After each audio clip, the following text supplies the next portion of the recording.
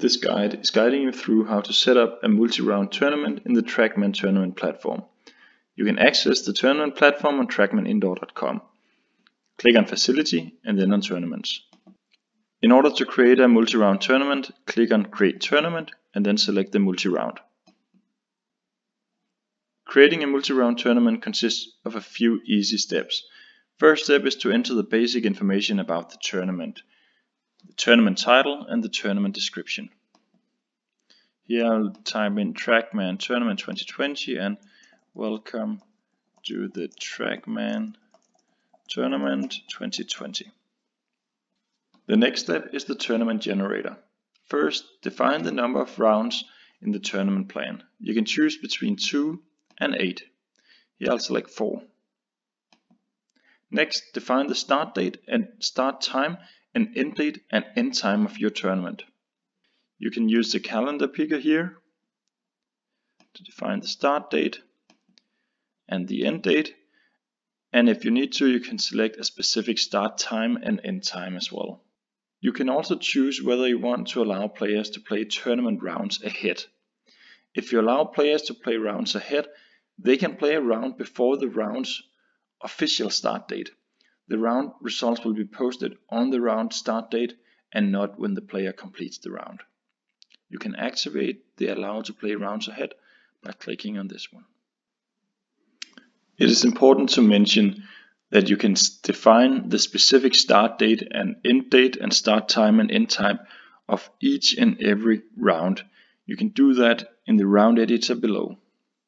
When you have defined your tournament plan, next up is the game type. Select between Stroke, Stableford and StrokeNet. Consider your tournament target group when defining whether handicaps should be accounted for or not. The game type setting applies to all rounds. The next setting you must consider is the Allow Mulligans and Show on Scorecard. In the Allow Mulligans and Show on Scorecard setting, you can choose whether tournament participants should be allowed to take mulligans in the tournaments. Please note that mulligans used will be stamped on the scorecard. Next up is the course settings. First, you can select whether your players should play all 18 holes or only the front 9 and back 9 for each and every round. You can change the settings for each round below. After that, you can define whether men and women can play from different tees. If you enable that, you can set the tee position for the female tee and the male tee respectively.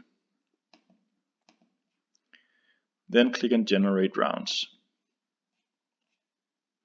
As you can see here, the tournament you have created consists of four rounds. You can go to each and every round and define the specific start date and start time of the round and the end date and end time of the round. Only during or between the start date and the end date, the tournament will be available for participants. For each and every round, you can search courses, you can go through the course library and select the course that you want for the specific round. When you have selected the course, go to the round settings and make sure that the settings here are just as you want. So 18 holes or if it should only be front 9 or back 9 and select the specific tees for both genders in this case. You can also open the advanced course settings and define the fairway firmness, the green firmness, the pins, wind, putting and gimme distance for each and every round. Go through each, each of your rounds and select the course you would like to, to play for each round and set the, the course settings as you prefer.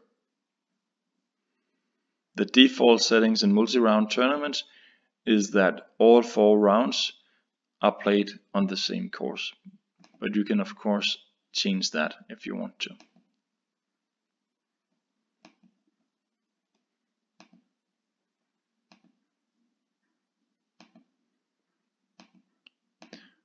When you have done that, click on create tournament and you're ready to go.